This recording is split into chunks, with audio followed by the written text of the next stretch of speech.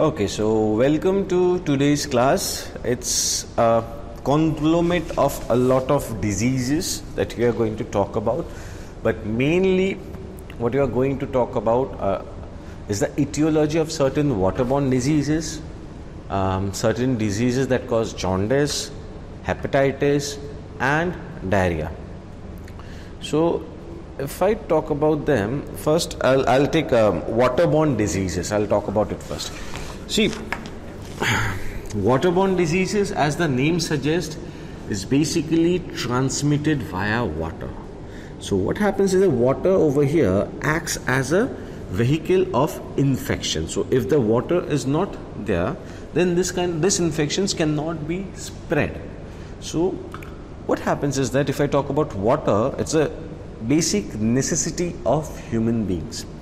500 liters of water is being used per year by an average adult. So I hope you can understand the amount of water that each and every individual needs.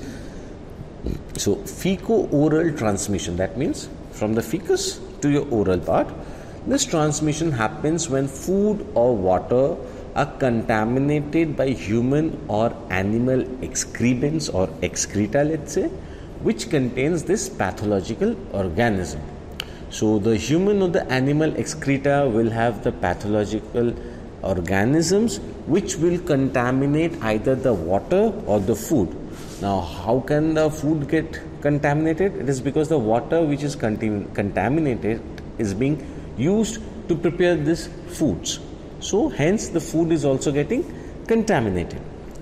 And contaminated water can be a source of infection which will lead to the occurrence of waterborne diseases, sporadic cases, or epidemic outbreaks. So, this particular statement that uh, water as a vehicle of infection is very important for you for your justify part of the questions that you get in your semester or in your professional exams, even in your viva too. So you need to know this particular part that why water is acts as a vehicle of infection. Next is what is in waterborne disease? Waterborne diseases are any illness that is caused by drinking water which is contaminated by human or animal feces that contains the pathological organism. Simple statement that by you are drinking the water that is contaminated with feces and this particular feces contaminates uh, contains micro pathological microorganisms which will cause a disease to you if you engulf it. It will include cholera, typhoid, amoebic disease, dysentery, or bacillary dysentery, and other diarrheal diseases. Now, five most common dangerous waterborne diseases that occurs in India are cholera, hepatitis A and E, typhoid, filariasis, and dysentery you may get an MCQ question that tell me the most common waterborne disease that you find in India after an let's say flooding right? You will have a lot of questions. You will have a lot of options over there. You may think ah this can also happen that can also happen. Always look if cholera is there or not.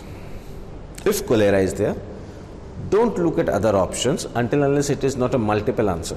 If it is a single choice answer, always look for cholera in the question. If cholera is there, go for it. If cholera is not there, then search for leptospirosis. If it is there, if cholera is not present, leptospirosis is present, go for leptospirosis. But if cholera is present and leptospirosis both are present, then first check whether the question is a multiple answer question or a single answer question. If it is a single answer and both these options are present, go always and always go for cholera. But if it's in multiple answer questions, go for both cholera and leptospirosis. Right?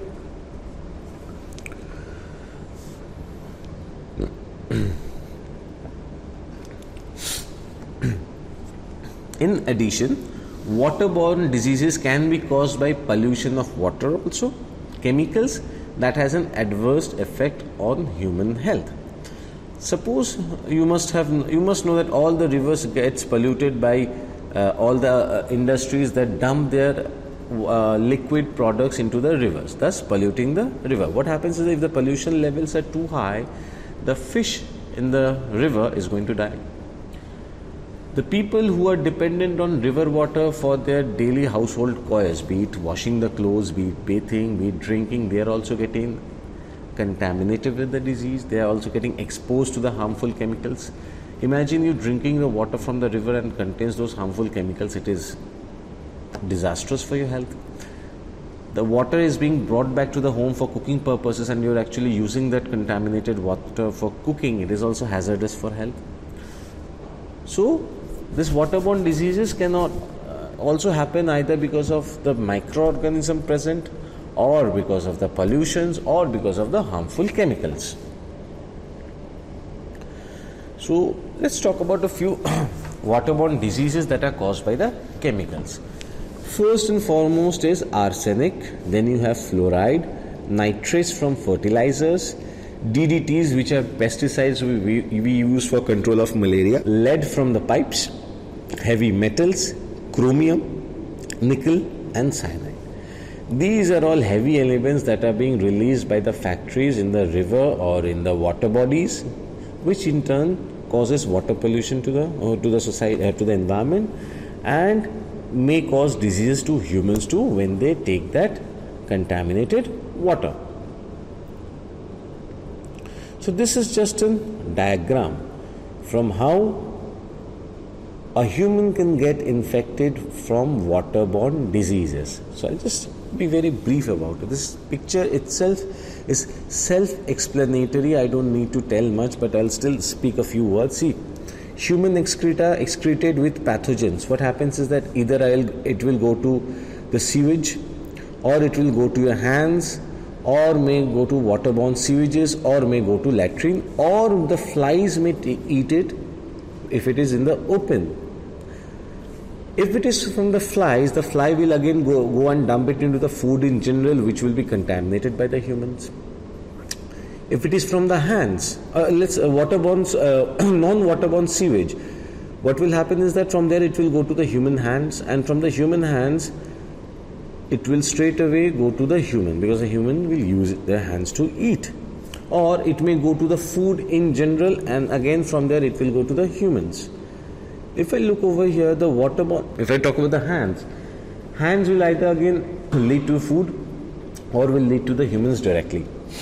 So, this waterborne sewage, what happens is that it goes to the groundwater. From there, either it will go as a drink, as a source in drinking water, and from there, again, it will infect the humans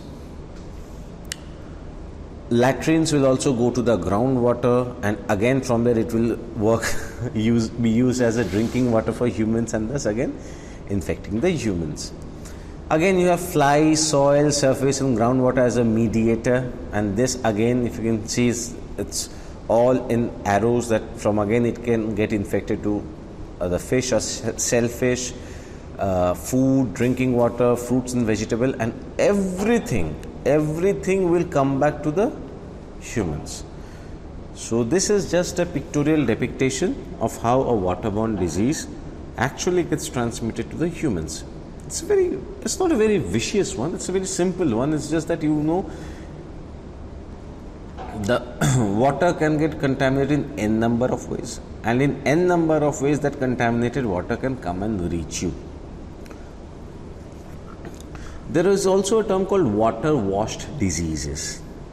This disease is caused by poor personal hygiene and skin and eye contact with contaminated water. It includes scabies, trachoma, typhus, and other flea, lice, and tick-borne diseases. I'll not speak much on it. Then there are certain water-based diseases which are parasites found in intermediate organisms living in contaminated water, like schistosomiasis and dracunculiasis.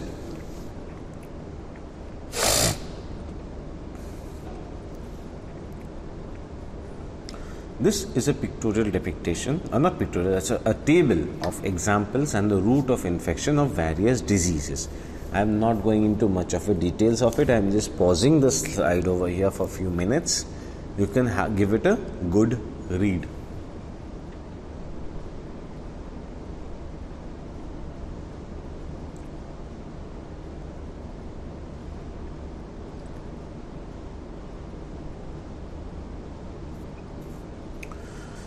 I'd suggest that you pause this slide for certain minutes, you read it properly, then you again play it and move on to the next slides. So, next we'll talk about all the waterborne diseases that we can have. I'll just go by the names, I'll not go into much of the details. A is adenovirus infection caused by adenovirus. You have amoebiasis caused by Entamoeba histolytica. Campylobacteriosis is there, which is called by, caused by Campylobacter jejuni. Cyclosporidiosis is there, which is caused by Cryptosporidium parasite. Cholera is there, caused by Vibrio cholerae.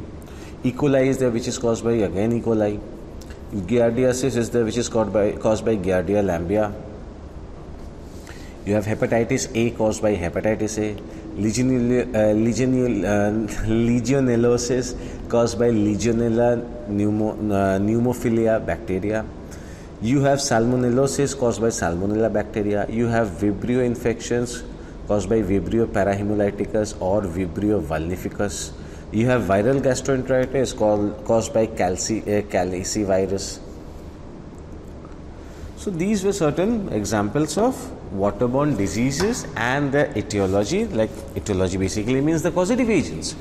So I'm not going to much of the details of it because you'll be taught much more details later on in your life in uh, subsequent years. I'm not going to. So I'll talk about jaundice a bit. What do you mean by jaundice? Jaundice basically means yellowish discoloration of the skin that we normally find. But is jaundice just yellowish discoloration of skin? No. It's a huge entity, jaundice itself. However, one jaundice is very bad for the body, except in one condition a newborn baby needs to have jaundice, which we call as neonatal jaundice. I am sure you must have read it in physiology, but neonatal jaundice is a totally normal phenomenon. You don't have to do anything about it. The body itself will take care of it. But it's a very important phenomenon for the baby. In otherwise, in an adult or in a young child, it is a bad thing. So, jaundice is basically yellow discoloration of the skin, sclera, mucous membranes due to hyperbilirubinemia and deposition of the bile pigments. It is usually detectable clinically when the plasma bilirubin level exceeds 50 micromole per liter or 3 mg per deciliter. Jaundice is not a disease but rather a sign that can occur with many diseases. This important is very this statement is very important. If someone asks you for DD of certain disease, don't say jaundice because jaundice is not a disease, it's just a sign. Jaundice is a sign. It jaundice itself is not a disease, but it says there is something, uh, some problem is there with your liver. Now you have to find out what. The problem is there, but it is your responsibility as a doctor to find out that what the disease is. So, jaundice, remember, is always a sign. Now, what are the types of jaundice that you may have? You have the prehepatic, you have the intrahepatic, and you have the posthepatic. When you will call it a prehepatic jaundice, if the jaundice arises from the blood before it enters the liver, it is called prehepatic jaundice. If jaundice occurs due to disease in the liver parenchyma, it will be called intrahepatic. If, the if it is a result of the obstruction of biliary tree outside the liver, it's called a post-hepatic jaundice. Um, the figures are there in the bottom. I'm not going into details of it, but this is just mota mota what other types of jaundice. Now, over here, if I see what is a prehepatic jaundice, let's say it's basically increase of the heme liberation. What is the cause, it, cause, uh, cause of this heme liberation? Hemolytic anemia, malaria, and reduced uh, red cell uh, uh, red cell lifespan. If it is intrahepatic, it might be because of defective liver metabolism or obstruction of small bile duct, or these two only. So, if it is a defect of liver metabolism, the causes might be congenital enzyme defect, iron storage decrease, and reduced hepatic bilirubin uptake. If it is because of obstruction of the small bile ducts, it will be because of either liver cirrhosis, alcoholic cirrhosis, immune, uh, autoimmune liver disease, drugs and environmental chemicals, hepatic tumor, pregnancy, viral or other infections, gallstones, and primary biliary cirrhosis. If it is because of the post-hepatic causes, it will be because of mainly obstruction of the large bile ducts. What might be the causative agents? Infection or inflammation of the bile tree, gallstones, carcinoma of the pancreas, carcinoma of the gallbladder, carcinoma of the bile ducts. Also, pancreatitis may be a cause or it may be drug induced. So, if I'm talking about drug induced jaundice, what are those? Some examples I'll just talk about acetaminophen, salicylic, tetracyclines, or these are the drugs that may cause drug related jaundice. Now, if it is a dose dependent hepatocellular damage, it will be mostly it is caused by acetaminophen and salicylates if it is dose independent hepatocellular damage, most commonly seen in disulfiram, isoflurane, and sevoflurane, and antidepressants and aminosalicylic acids. If it is if it causes hemolysis, this is because of methyl dopa. If it causes cholecystitis, it is mainly because of carbimazole or oral contraceptives or chlorpromazine or chlorpromide. Chlorpromide. So this was a bit about the jaundice. I know I have not said much. I am just trying to give you what might be the causes of jaundice because it, this topic or today's class is basically based on etiology. So I'm just talking about uh, about etiology in brief. If I talk about waterborne diseases or diarrheal diseases, let's say, what are the most common ones that I have?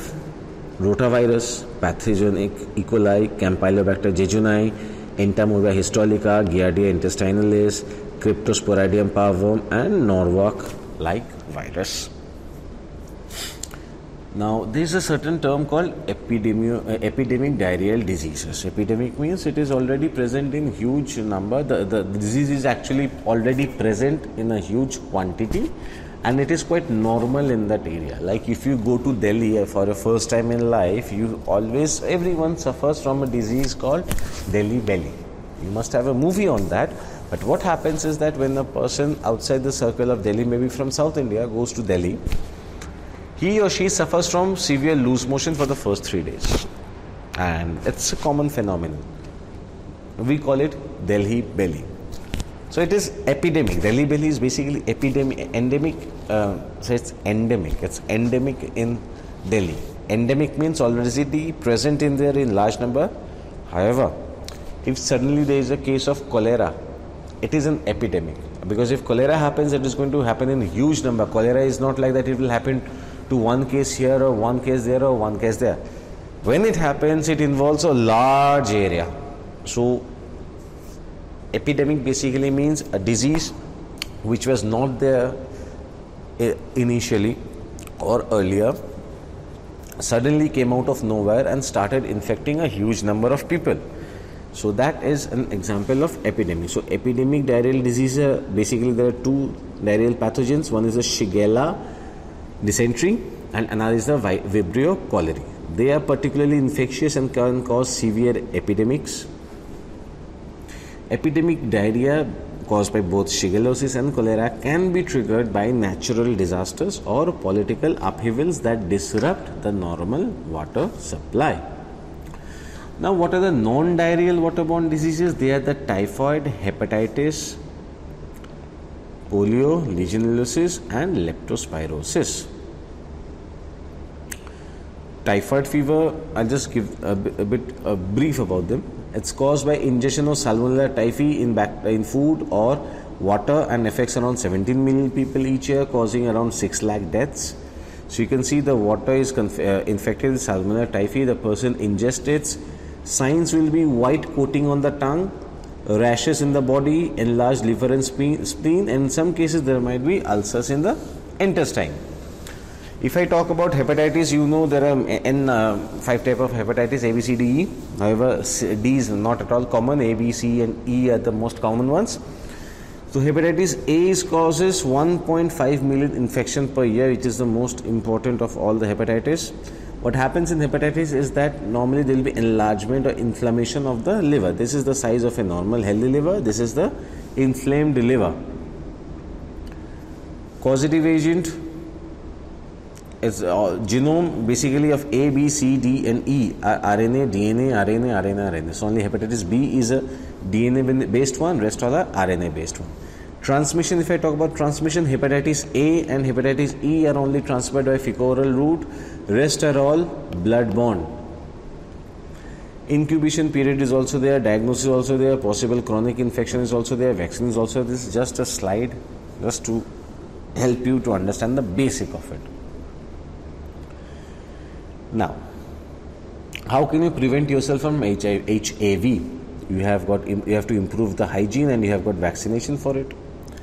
If the person suffers from HBV, you have to do screening and improve the hygiene and also vaccination is required. Hepatitis C, again, blood screening, sterile needles, all these things are to be used. Hepatitis D, not very common, but sterile injections are required to prevent this disease. And hepatitis E is also because of hygiene and yes, practice safe sex and food nutrition. Polio. Again, polio is a very highly infectious viral disease that mainly affects the children under 5 and primarily transmitted through the fecal-oral route. Safe water and sanitation inter- interventions can help you to reduce this risk of contracting polio. This is just a photo of baby being given the polio drops. Do boon zindagi ki, I'm sure you must have heard of this slogan. And this is what happens when you don't take your do boon zindagi ki.